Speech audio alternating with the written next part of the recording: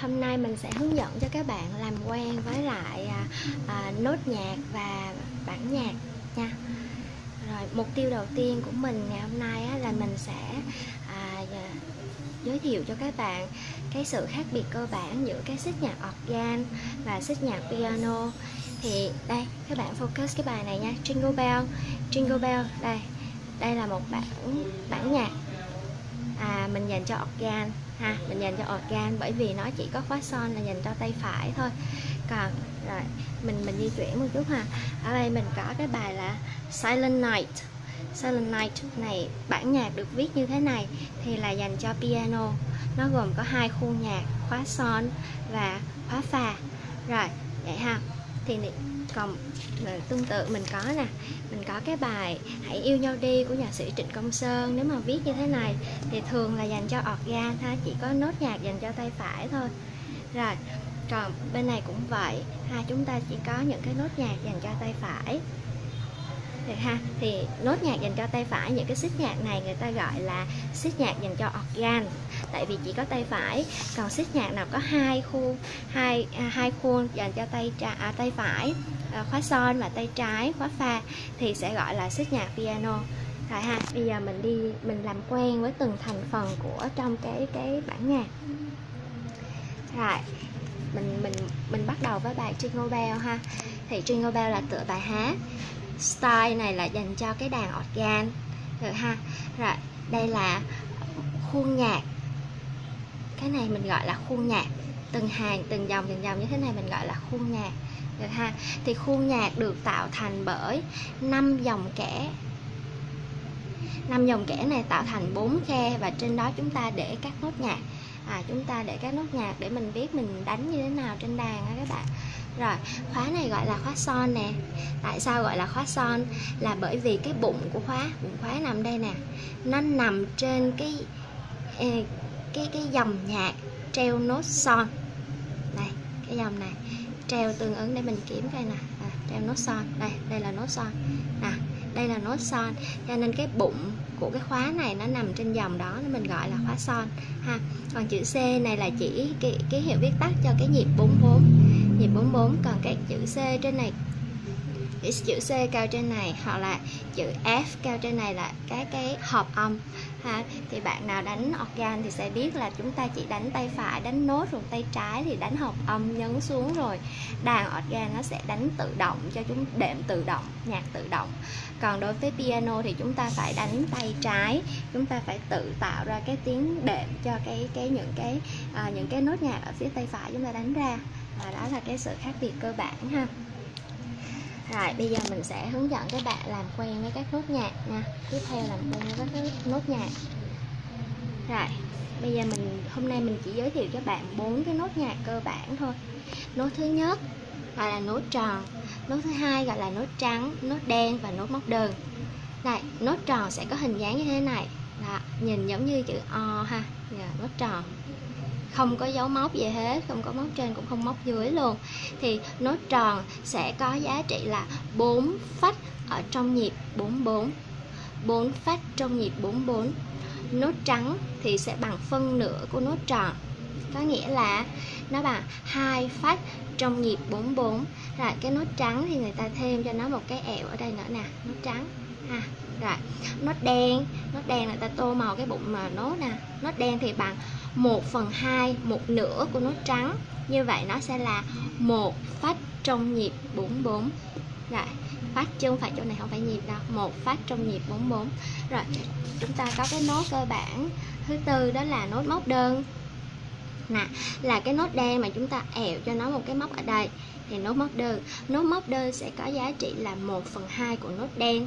Đó, có nghĩa là 1 phần 2 phát trong nhịp 44 rồi, thế thì người ta sử dụng những cái nốt nhạc khác nhau để thể hiện cái trường độ của nốt nhạc trong bản nhạc. Trường độ có nghĩa là cái độ dài ha, trường độ có nghĩa là độ dài rồi bây giờ mình sẽ áp dụng các cái à, bốn cái loại nốt này để mình à, mình đọc các nốt à, trong một bản nhạc ha. Rồi xuống đây. Đây là mình à, hướng dẫn các bạn là à, vị trí của các cái nốt trên cái cái khuôn nhạc ha. Rồi đây là khóa son nè.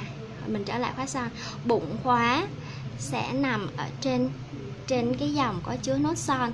Đây nốt son đây thế thì chúng ta có thứ tự các nốt là do re mi fa son la si ha. Nốt son treo ở đây thì nốt fa nó phải xuống một chút xíu một xuống xuống phân nữa đây nó nằm ở ngay trọn cái ô cái cái cái khe nhạc đầu tiên.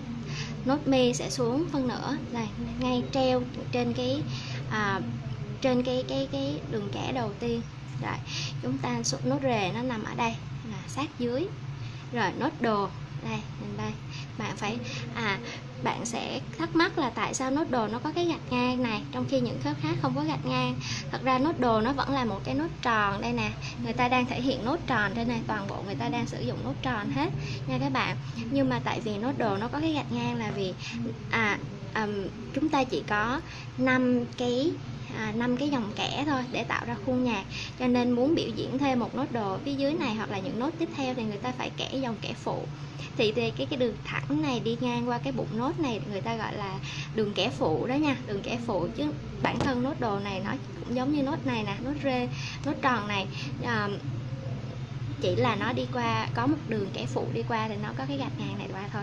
Ha rồi. Tiếp theo nốt la nó nằm đây nè nốt la là trên nốt son. Nè nốt la nằm đây. Nó nằm trọn vẹn trong cái cái cái khe nhạc thứ hai trong khe thứ hai. Rồi nốt si thì lên đây là treo trên cái dòng giữa. À, treo cái dòng thứ ba của khuôn nhạc thấy chưa? Và bạn nhìn lại nhé. Đồ rê mi fa son la si. Rồi đây là các cái, cái vị trí của các nốt trên tay phải ha cố gắng nhớ nha. Rồi bây giờ mình sang cái phần khó hơn một tí đó là tay trái. Đây tay trái là có khóa pha.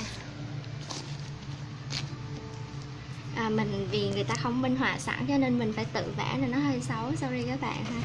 Đây là khóa pha thì cũng tương tự nguyên tắc nè. Khóa pha tại sao gọi là khóa pha? Bởi vì cái bụng của cái khóa này nó nằm trên cái dòng kẻ chứa nó pha. Đấy ha rồi như vậy đây là nốt pha nè. Nốt pha. Đây tương ứng là cái bụng của khóa này nó nằm nằm trên dòng chảy của nốt pha. Như vậy thì nốt mi đi xuống một chút là nằm ở trên khe à, trên trên à, khe số 3 à, của của khuôn tay trái.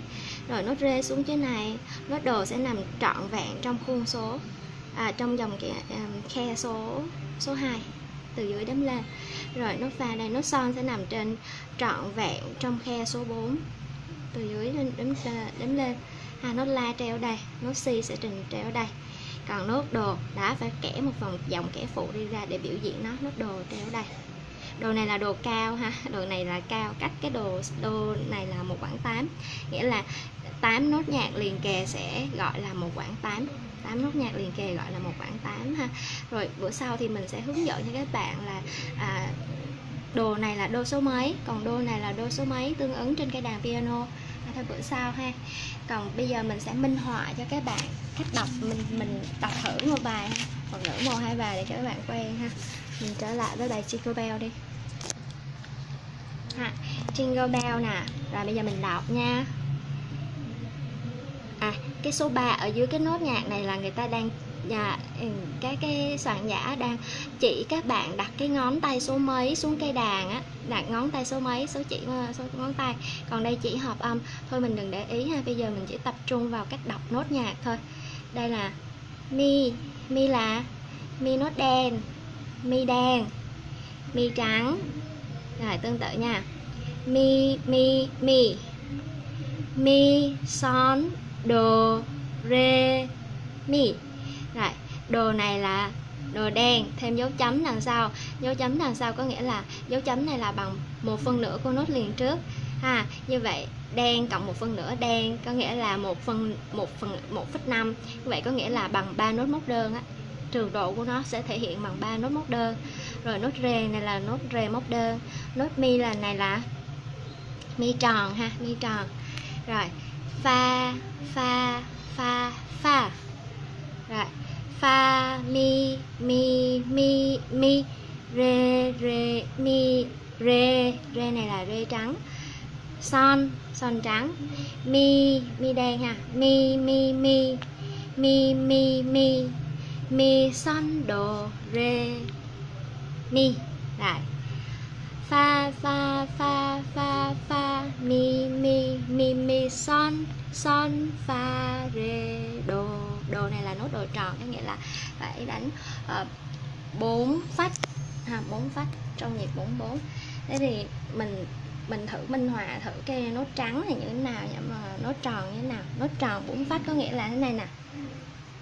Mình quay xuống ha nốt đồ đi. À. xuống đây ví dụ mình muốn đánh nốt nốt ừ, nốt tròn. Nốt tròn có nghĩa là bốn phát trong nhịp 44 thì mình phải đếm, đặt xuống nè đồ rồi đếm 2 3 4 nha đồ 2 3 4 nhấc tay lên. Rồi, bây giờ mình muốn đánh nốt trắng, thì hai phát mà, hai phát thì đồ 2 rồi đếm đồ rồi đếm 2 xong rồi nhấc tay lên. Đồ 2 nhấc tay lên. Còn muốn đánh nốt đen á, thì ví dụ như đồ đen. Rồi nhấc tay lên không đếm gì hết. Nhấc tay lên không đếm gì hết. Nhấc tay lên không đếm gì hết. Vậy ha. Còn nốt móc đơn á, nó sẽ bằng à, phân phân nửa của nốt đen. Cho nên khi mà mình mình diễn nó mình phải diễn nó nhanh gấp đôi so với nốt đen. Ví dụ như hai nốt đẹp hai nốt móc đơn đen đồ nốt hai nốt móc đơn đồ thì mới bằng một nốt đen đồ. Cho nên mình phải biểu diễn nó nhanh lên ha đồ đồ. Còn nếu không thì đô rê nè. Hai nốt đô rê móc đơn thì mới bằng một một nốt đen. Phải bị phải diễn nó nhanh lên. Ha đó là cách diễn nha. Cả diễn các nốt à, à, trắng à, tròn trắng đen và móc đơn. Ha rồi bây giờ mình chuyển sang cái à, à, đọc cái khóa pha ha. Mình mẫu khóa pha đi em khóa và nè mình silent night. Rồi. À nè đồ nè. Đồ mi son. Rồi. Ờ, khi các bạn chưa quen cái cách đọc toàn nốt này bạn có thể nốt ở trên đây. À, ví dụ như đồ thì là chữ chữ C đây mi thì là chữ E. Rồi son sẽ là chữ G. Cứ đồ mi son cứ mình cứ nốt ra như vậy để mình quen ha. Rồi tiếp tục nha. Vẫn đây vẫn là do mi son rồi do mi son do mi son rồi, son 7 nè. Son 7 là chúng ta đọc là son si fa son si fa đó ha. Tiếp nào đồ nè. Do mi son rồi. Đây do re mi. Do re mi. Rồi fa nè phà la đố. Đố này là đố cách một bằng 8 nha. Rồi mình tiếp nè.